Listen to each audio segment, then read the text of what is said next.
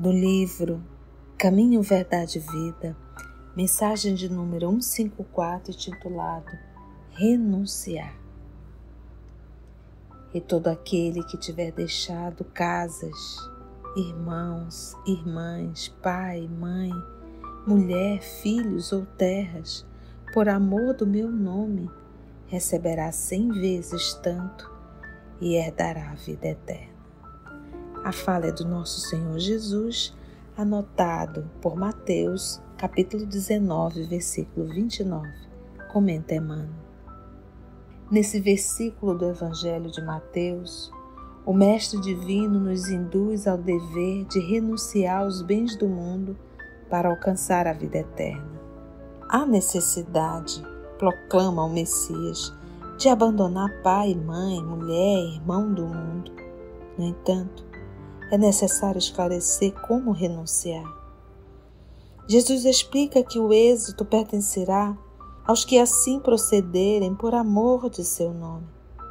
À primeira vista, o convite divino, a sugestão divina, parece um contrassenso.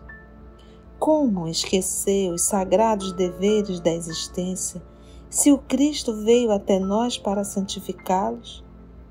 Os discípulos precipitados não souberam atingir o sentido do texto nos tempos mais antigos. Numerosos irmãos de ideal recolheram-se à sombra do claustro, esquecendo obrigações superiores e inadiáveis. Fácil, porém, reconhecer como Cristo renunciou.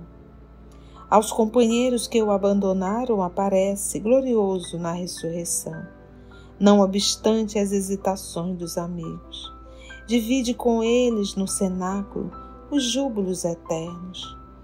Aos homens ingratos que o crucificaram, oferece sublime roteiro de salvação com o Evangelho e nunca se descuidou um minuto das criaturas. Observemos, portanto, o que representa renunciar por amor ao Cristo. É perder as esperanças da terra, conquistando as do céu.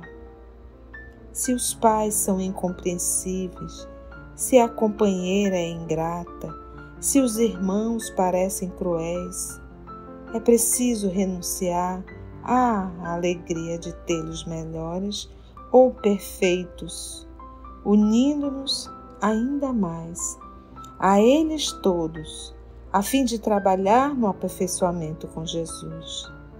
Acaso não encontras compreensão no lar? Os amigos e irmãos são indiferentes e rudes? Permanece ao lado deles, mesmo assim, esperando para mais tarde o júbilo, a alegria de encontrar os que se afinam perfeitamente contigo.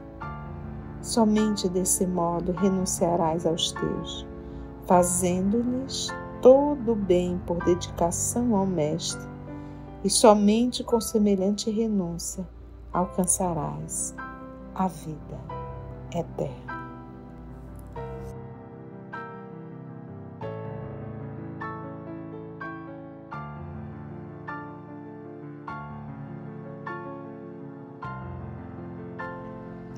Você possa ter uma boa noite de repouso, bons sonhos e que no mundo espiritual você possa interagir com amigos espirituais superiores para que você também possa aprender um tanto mais.